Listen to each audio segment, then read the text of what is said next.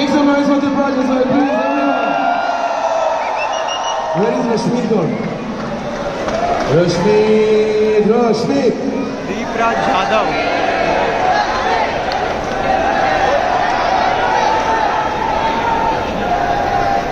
Me and Rashmeet, we have done so many songs together. some of them are released, some of them are unreleased, but we're gonna make more music together for you guys.